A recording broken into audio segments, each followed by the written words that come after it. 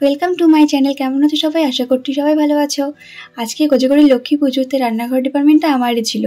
রান্না করব ফুলকপি, রসা, আলুর তরকারি, তার জন্য সব কিছু কেটে নিয়েছি। মা ভাত আগে করে রেখেছিল। রান্না করব তার জন্য সব কিছু ভেজে নিলাম, দেখো। এবার মশলা কষিয়ে ওর মধ্যে সব সবজি দিয়ে দেবো। ফুটে উঠলে গরম মশলা গুঁড়ো দিয়ে দেবো আর একটু কাসুরি মেথি দিয়ে দেবো। রান্নায় যদি কাসুরি মেথি দেওয়া যায় না, রান্নার স্বাদ কিন্তু দ্বিগুণ বেড়ে যায়। আর একটু নামানোর সময় বাটার দিয়ে নেব। এভাবে রান্না করেও একদিন তোমাদের খুব ভালো লাগবে। আমারও রান্না কমপ্লিট হয়ে গেছে। এবার তরকারির যে খোসাগুলো ছিল, সেই তরকারির খোসাগুলো আমি সব পরিষ্কার করে নিলাম। আর সকালের খাওয়াটা ওই তরকারিটা দিয়ে খেয়ে নিলাম, যেটা রান্না করেছিলাম। অনেকটা দেরি হয়ে গেছে, তাই বেশিটা খাইনি, অল্পই খেয়েছি।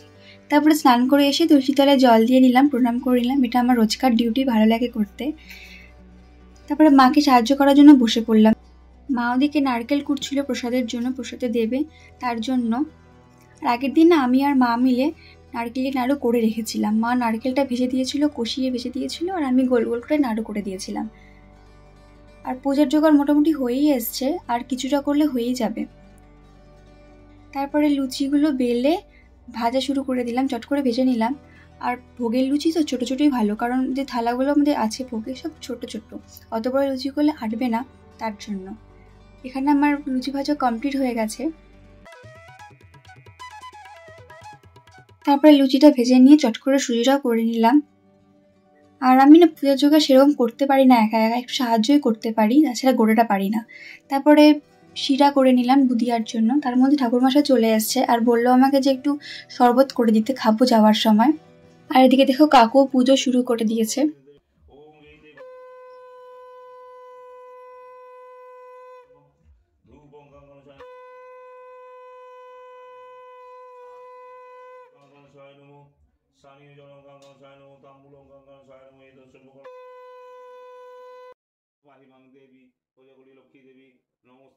পুজো শেষ হয়ে যাবার পরে আমি মাকে আলতা পরিয়ে দিলাম আর নিজেও পরলাম আলতা কারণ মা আলতা পরে পাঁচালি পরবে তার জন্য। সাথে আমিও পড়ি প্রত্যেক বছরই আমি আলতা পরি। আলতা পরতে আমার ভীষণ ভালো লাগে ছোট থেকেই ভালো লাগে। এবার মা পাঁচালি পড়া শুরু করে দিয়েছে।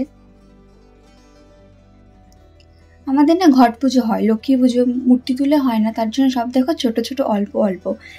আর তার জন্য এরকম লাগে। আর আমার মা না বসে পুজো করতে পারে না, দাঁড়িয়েই পুজো করে, তার জন্য এরকম টেবিলের ব্যবস্থা করা হয়েছে। তাই এরকম লাগছে দেখতে। আর আমি ছোট্ট করে একটা আলপনাও দিয়েছি, সেরকম আলপনা আমি দিতে পারি না, হালকা ছোটোখাটো পাড়ি দিতে। আর লাইটিংটা চালিয়েছিলাম এটা আমার বুদ্ধি না বাবারই বুদ্ধি বাট আমি লাগিয়ে দিয়েছি। এবার চলো প্রসাদ খাওয়া যাক। সবার জন্য প্রসাদটা বেড়ে নিলাম। আমি, মা, বাবা, দাদার জন্য পেটে পেটে। এটা ছিল আমার লক্ষ্মী পুজোর ব্লগ। ভালো লাগলে প্লিজ সাবস্ক্রাইব করতে পাশে থেকে দেখা হচ্ছে নেক্সট ভিডিও